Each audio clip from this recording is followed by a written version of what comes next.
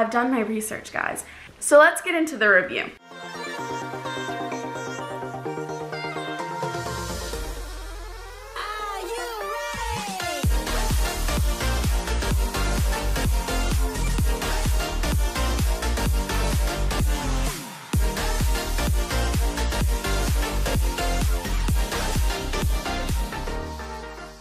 look what he found. He thinks it's a four-leaf clover, but that's not a four-leaf clover.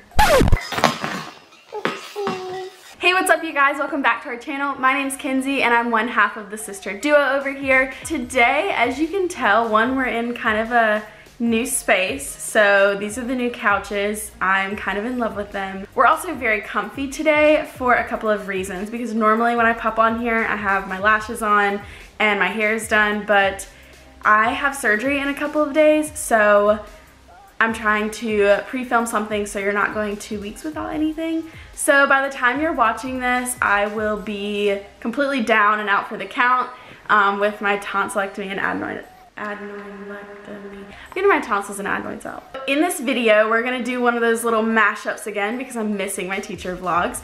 But for the first half of this video, I'm gonna share a new planner that I got and I'm basically just gonna review it for you guys because I've always been a planner snob and I've always spent way too much money on planners and this one is an absolute steal. So I'm gonna do that first, share my tips and tricks, um, how I stay organized, color coding, all that fun stuff. So if you're here for that, you will not be disappointed.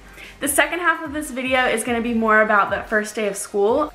I've been getting questions about what do you actually do the first day of school and for me the first day spans almost the first three days so I figured that I would throw that in here as well. Like I mentioned earlier I will be having surgery and it even just hurts to talk right now but I will be having surgery this week so you will be missing next week's video. Um, the only way that you're not going to miss it is if Madi has something up her sleeve. Fam. Sorry, fam. Y'all are not going to see anything from me until my Disney videos come out, which is mid to end August. So, sorry. Trust me, you're better off. It's okay. Insert Madison with something up her sleeve.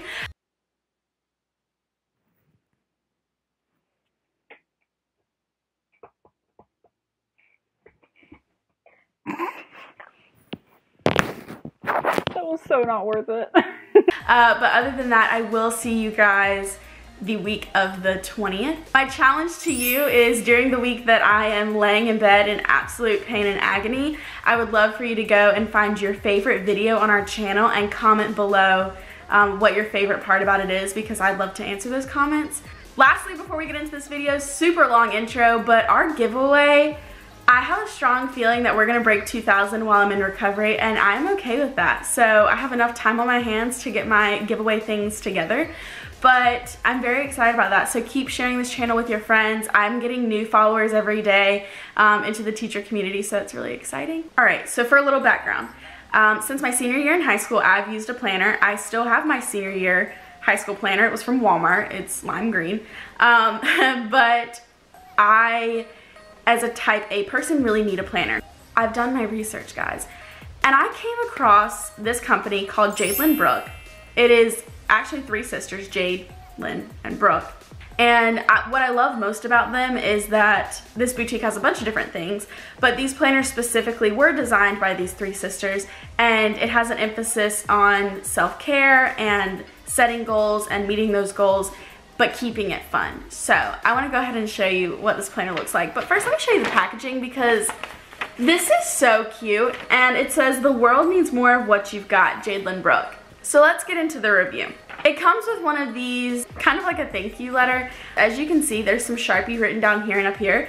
And it says, thank you so much, Makenzie, for ordering with our family. We hope all of your dreams, goals, and wishes come true. Love, Jade.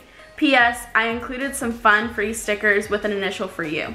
So I got two additional sticker sheets and they come in your planner too, but these are different. So fun, so different. Then I got one of these, which is like, says strong, empowered, fearless, resilient girl. And then this is their store, so they sent me a sticker with that on it. It says the Three Happy Hooligans by Jade Lynn Brooke. And then this is the initial she was talking about. It's this fuzzy stickable initial. It's so cute. Again, not something that's me, but I'm trying to go outside of my comfort zone, especially during a time when we can't really go out of our comfort zone. So that's all the extra stuff that they sent me that I definitely did not pay for. Here's the planner. Some of you, as soon as I threw this up, you were like, that is the cutest thing ever. And some of you were like, ew, floral. Same. Um, I'm not a floral gal. I'm not a bright colors gal. I am becoming a bright colors gal, but floral is still a no.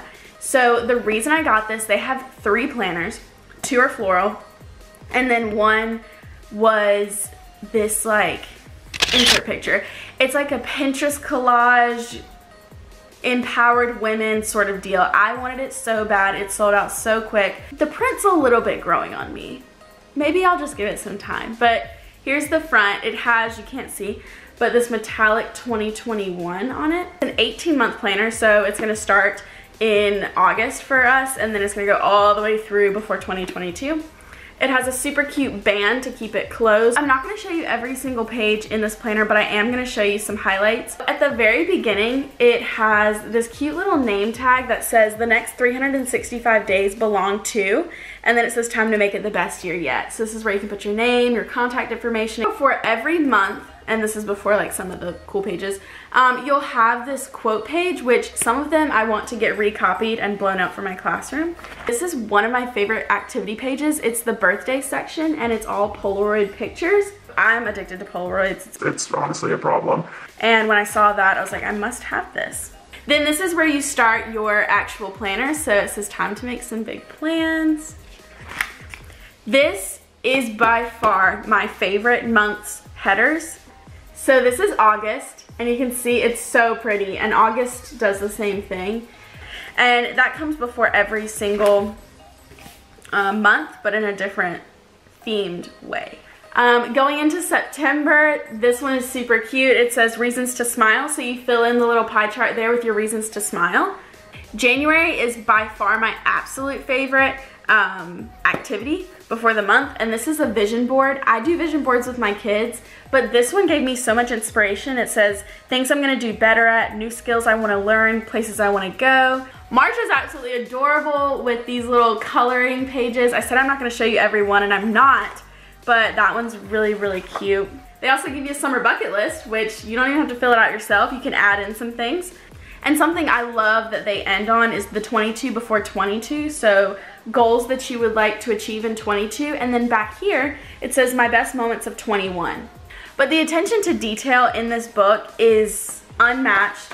You need this in your life. And in general, you need a planner in your life. If it's a Lilly Pulitzer, if it's an Erin Condren, if it's a Jade Lynn passion planner, digital planner.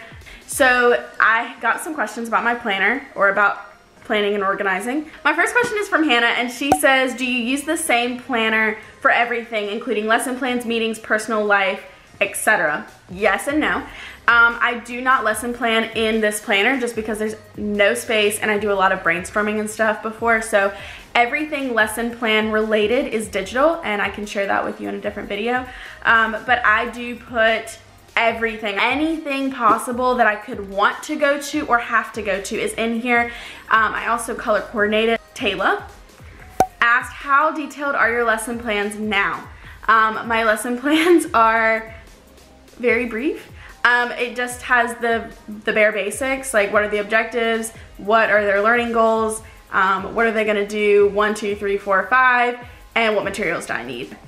The last question I have is from mom to these three and it says, how has the planner helped you with virtual learning? I teach science at South Garner.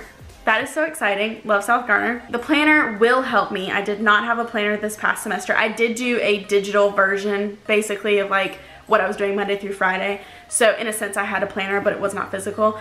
Um, this planner would have helped me or a planner would have helped me because I would know personally what I needed to get done that day and professionally uh, if I had Zoom meetings, because there were so many Zoom meetings from staff to department to with children to so on and so forth. Now for the second half of this video, I did say in the intro that I was going to be talking about the first day of school. I completely forgot that I was gonna tell you about my tips and tricks for this, so, and that's gonna take me a hot second. Uh, so the next video that you will see will be the first day of school, walking you through it because like I said, I do almost three days for the first day of school, closer to two and a half. Um, and I don't want to rush that. I want to really explain that and give you some tips and tricks with that as well. So we're going to save that for next time. All right, these are my ride or dies and they're the Bic highlighters. There's nothing special about them. They're super cheap. Um, you don't have to pay a ridiculous amount of money to get your hands on them. They're at Walmart. I need to put you onto these for multiple reasons. The first is that there's no reason for you to overpay for highlighters. Other brands will have you paying a ridiculous amount of money for the same highlighters. Two, if you're an English teacher or you're just a teacher who uses highlighters for whatever reason, you have interactive notebooks or you yourself use them, you're gonna go through them anyway. And there's the same amount of ink, most of the time less ink, and those more expensive highlighters. So just listen to me, purchase these, you will love them. I have a color coding system. This is my number one tip for you guys.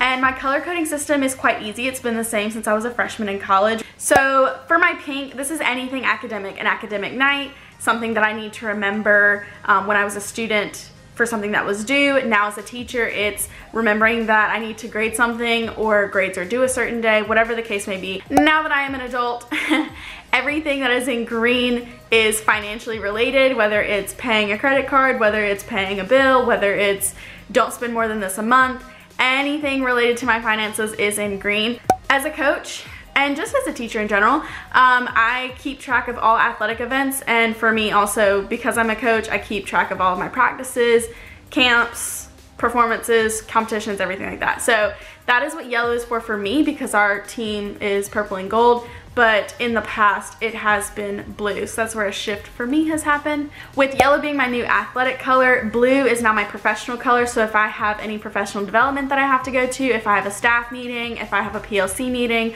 all of those lovely meetings um, go in this blue color.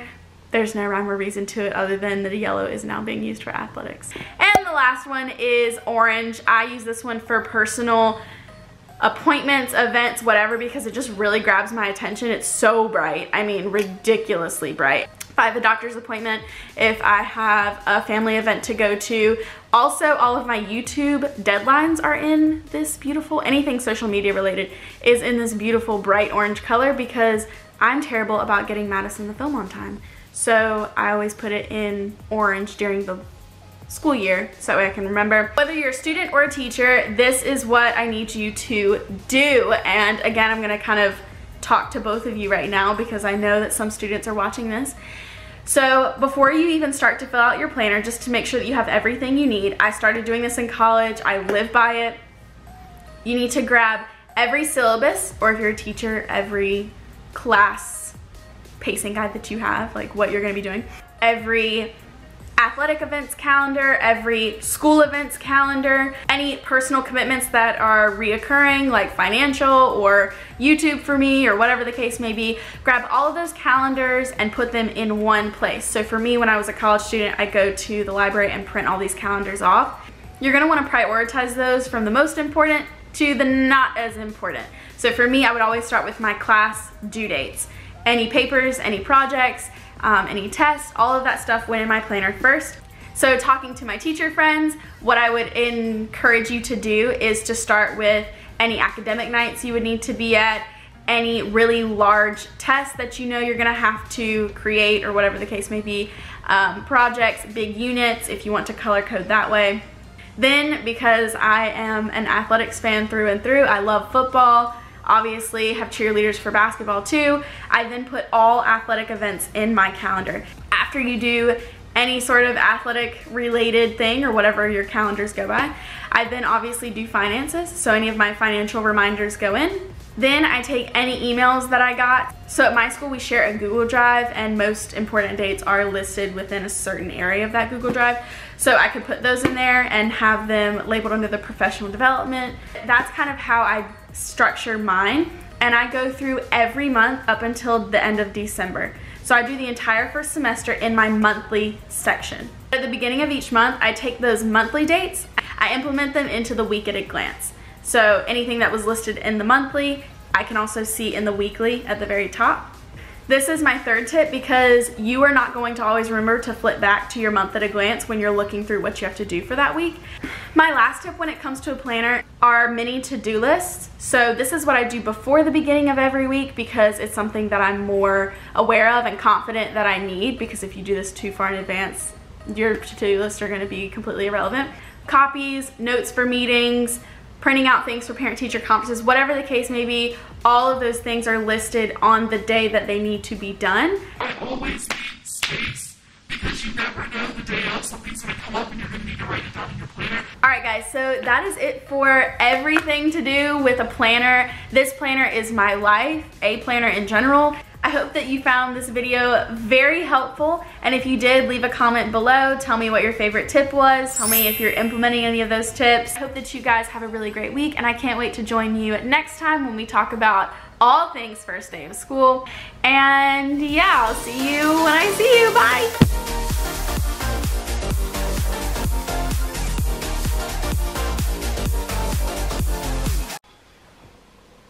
I gotta go get that water up. Oops.